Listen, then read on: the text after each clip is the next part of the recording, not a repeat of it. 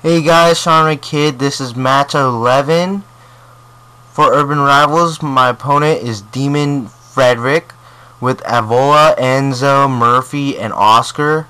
My team is Lou, Mike and Moose, Ojibwe, and Rico. So it's gonna be Montana versus the Roots. Well, my turn goes first, anyways. So so first off, I'm going to choose Lou. And I am so scared already because they have that bon that dangerous bonus of theirs. That's how bad they are in the game. They're one of the evilest teams of Urban Rivals because of their bonus. So they choose Avola.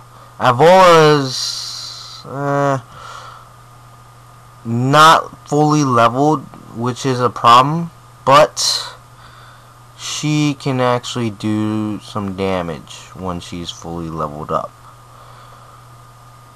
But she she gets a round win for Demon Frederick. And now the other two I'm freaking ass worried about is Oscar, but his ability is going to be nullified, and also Murphy, who he chooses. And now I'm gonna choose. Wait, wait for it. Hmm. Rico. Why Rico? Hmm.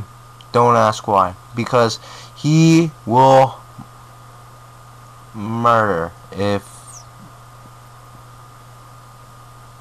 he gets his ability boost. And he does get the ability boost, but he survives with one hit. He survives with one hit and gets the gets me the lead in the match.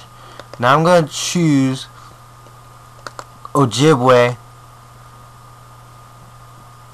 to conquer this round. And what I said about the last match, he is good on uh, like a fake out. It is true, but there are other ways to to deal with this character. Like you can use him when he when your opponent has bunch of lives, and like and if he wins, uh, your opponent loses a lot. And uh, I I lose four so I might be able to tie the match up but um that's the bad news. I I really really can't tie this match up. If I do this is maybe the first tie ever on UrbanRivals.com matches. So, and actually, if I lose this match, tough luck.